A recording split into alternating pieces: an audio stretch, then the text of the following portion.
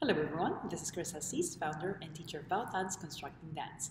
Today we're going to be talking about um, a common uh, musicality trouble. Um, so there are many things uh, that you need to work on to be able to freely express yourself uh, on the music. There is one thing though that you definitely do not need, and that is someone telling you one, two, three, four, five, six, seven, eight. Because then you're not really uh, dancing on music, you are dancing on one, two, three, four, five, six, seven, eight.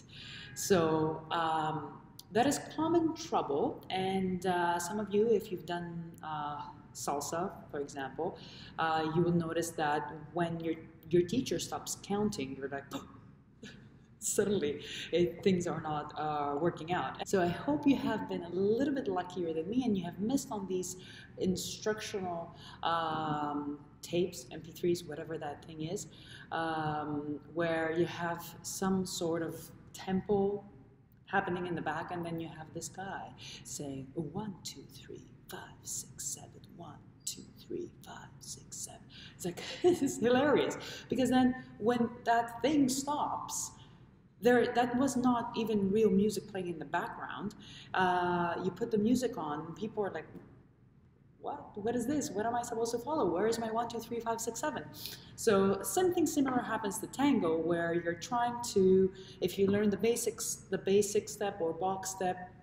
Uh, you're trying to match that whole routine uh, to the music, and sometimes it works. That's of course, that's normal, and sometimes it doesn't.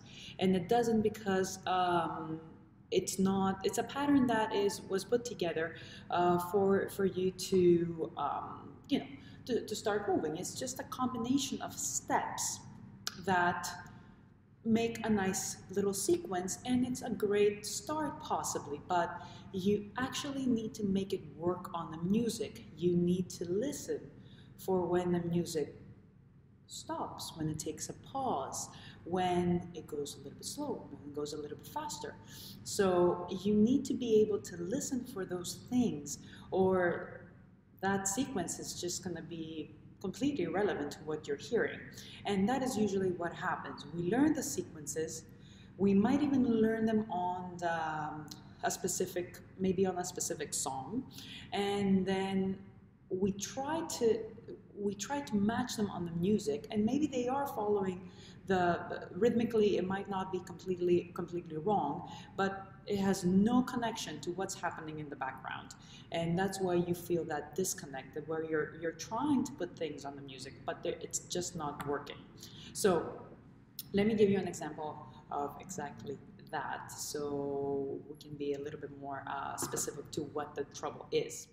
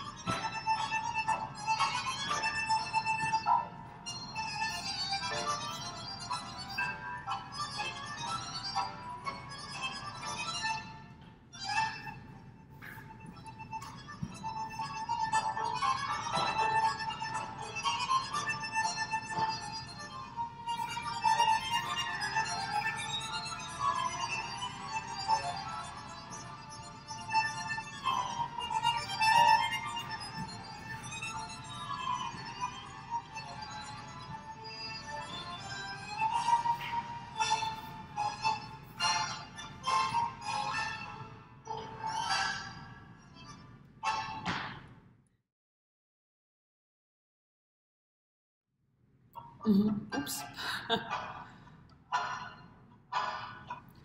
so, see, for most of the song, I was was it wrong? No, it wasn't wrong. I was on the beat, but uh, it was as if we were listening to a completely different piece of music. It was like uh, that doesn't. I hope that you see that that does not match what you're listening. I hope. So it is not wrong, te- technically speaking. No, it's right. You know, it follows the beat of the music. But what the music, what, what's happening in the music is not really uh, what you're doing. So let's see.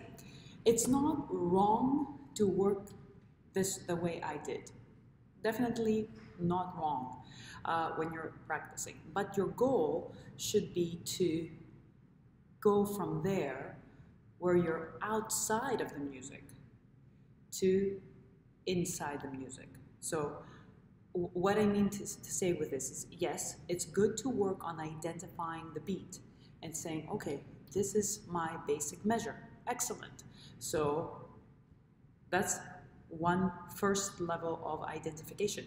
But then you need to go a little bit deeper and start exploring the, the music, even just by listening to it, or picking a simple pattern, just like the same that, that we did now, and try to match it to, to react to the changes of the music. So in the beginning, it's going to be a re- very reactive dance. Some of them you're going to get, some of them you're you're not going to get. Uh, but then the more you get to learn the song, the better things are going to be. So the more you you the, the the songs that you know better, you'll see that they're like, oh yeah, yeah, I, I get it. Like a couple of times, and you're gonna get it no, super fast. The songs that you don't know, you're gonna go looking, like you're gonna be in a research adventure. So it's gonna be very reactive. You hear, you react. So the the more you work on it, the better it will be. So my suggestion to you is start the way I did even though it looks terrible. Don't do it on the dance floor. Don't aim. Don't make that your goal. This is just your, uh, I don't know, like setting up your canvas almost to, to be able to start um, painting over it. So you're preparing your canvas. And then you keep on working with the same song, but try to be more connected to what you're what you're listening what's happening in the song. Is there a pause? If there is a pause why are you still moving? So allow for your pa- pattern to change as the song changes. And keep in mind in the beginning it's going to be uncomfortable it's going to be very you're going to be very reactive um, but as you keep on going and going it's going to be more active you're going to be the person acting on the music and not reacting to the music. So, let's see. Same.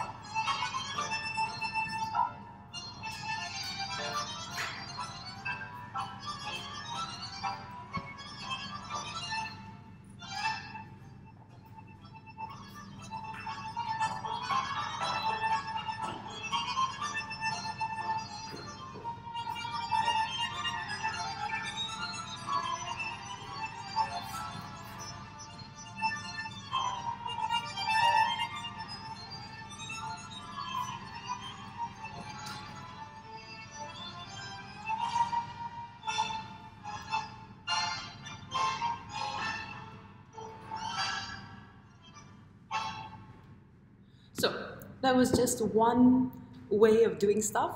Uh, I'm sure if I did it once again, it would have been completely different. And I messed up a couple times, which is absolutely normal.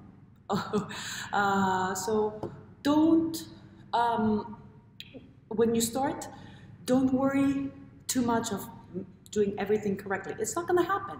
So when you start, you start with the wrong way. It's not, I'm putting it in quotes because it's not technically wrong.